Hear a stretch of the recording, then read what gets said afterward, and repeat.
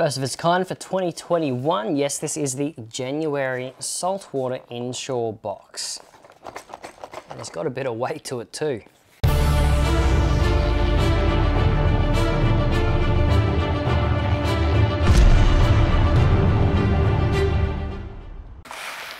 Right, pull up a seat, grab a beer, grab a coffee. We've got a lot to cover in this box. Um, where do I start? Plastics, plastics, plastics, jig, vibe, popper, plastics, stickers. Right, I always like to start with Surface, so let's start off with Surface. Here we have one from an Australian company. You might know them, known as Halco.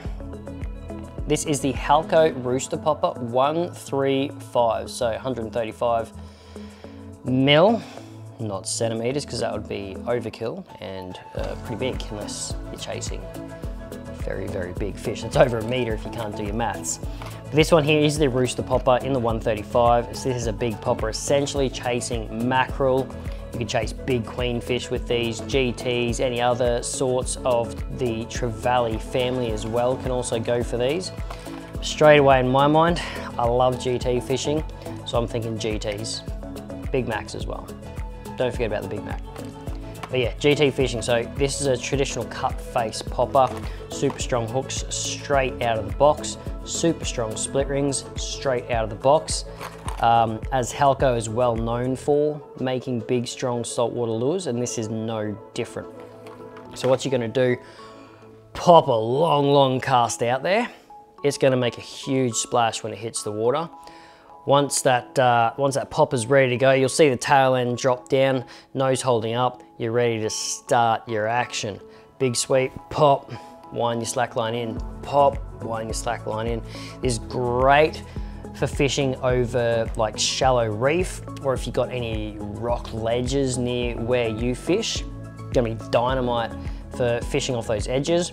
Big tuna coming in are gonna hit these too, not just GTs and the other, other fish I mentioned, but obviously GTs, mackerel, that's the main sort of species you're gonna be chasing with this. Then we're gonna move over to some of the other hard bodies before we step into the soft plastics range here. So this is another one from Halco. This is the Halco Max 110.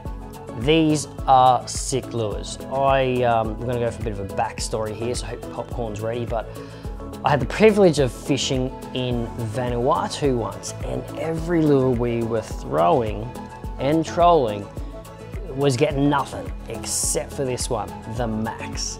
This is a big vibe style lure. You can work them vertically like a jig, or you can also high speed troll them as well.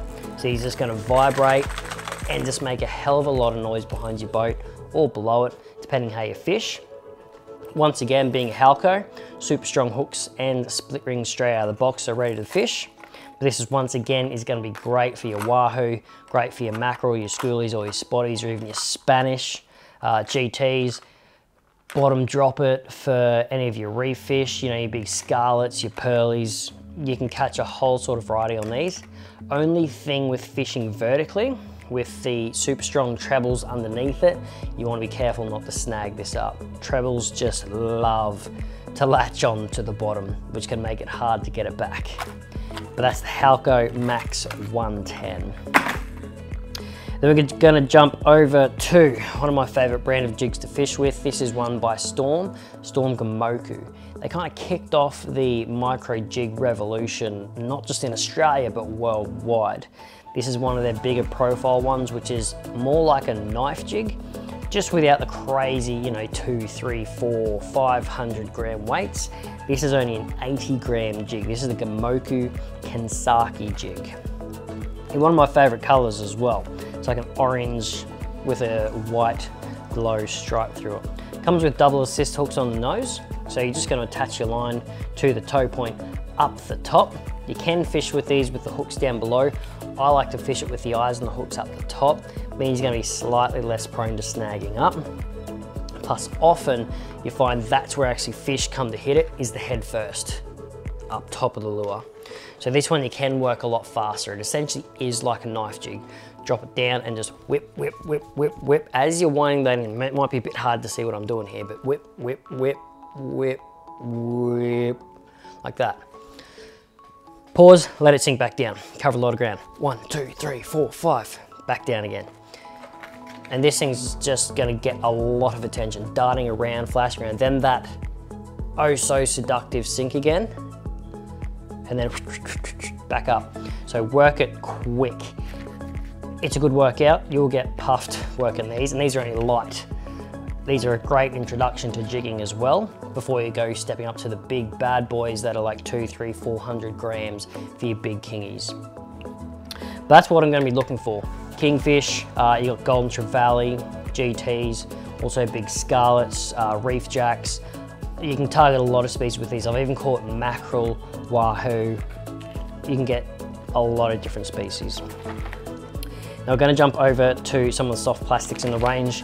Included in the box this time, we've got four different sets to choose from. So let's start off with the big one. This is the Mad Eyes here by Halco. So plenty of Halco in this box this month. So these are a huge seven inch prawn style plastic. So they do have all the little legs coming off the sides that are gonna give it heaps of micro vibration, but as well as a big, big paddle tail on the back. So you're getting those big wide kicks, the big body roll. It's kind of a mixture of both worlds, not just a paddle tail fish profile, it's a half cast which is super popular on a lot of species. I'm gonna throw these for mulloway. A lot of big reef species will hit these as well. Uh, if a mackerel comes along, he will hit it too, but will probably tear it to shreds with his teeth. Uh, but yeah, once again, probably a heavy jig head for this.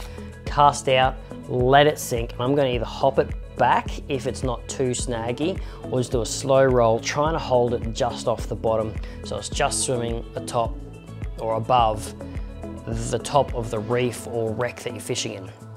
Now you can also fish with these vertically, but with that big paddle tail, once again, I wanna keep that tail doing its thing. So either a slow roll or a lot of uh, up and down action, but keeping it moving. If you're gonna fish more vertically, just jigging with plastics, which is a lot of fun to do as well, uh, I'm gonna look for one of these two here. So first up, you've got the Damiki Armor Shad here. This is a big five inch one. So these are not a paddle tail plastic. They're essentially just a little fork tail plastic or a flick plastic is what some people call them. And then you've also got the Zero Z2 by Strike King. So a smaller profile as well. So you've got two different sizes in this. I've got a lovely pearl and a lovely pink.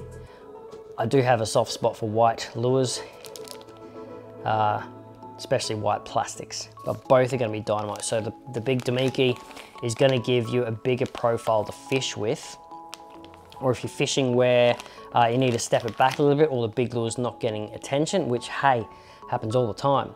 Sometimes it's the small little presentation that gets all the attention. That's when you're gonna step over to the Strike King plastics. Now you can also fish these on the cast. You don't have to jig with them, but just cast out, let it sink down, hop it back, hop it back, and keep that slack line tight just so you don't miss any of the bites. And then last but not least, is one here from our friends at Samaki, a Samaki boom bait in the five inch Curlicious. This is a curl tail version now. So you've got three different options. You've got your flick baits, you've got your paddle tail, and now curl tail. So this one you can rig easily weedlessly, so you can with the others. Uh, you can fish these heavy jig head, like you can with the others.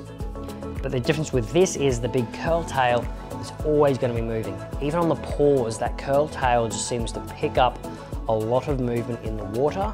So there's always a lot of movement, even with very minimal effort.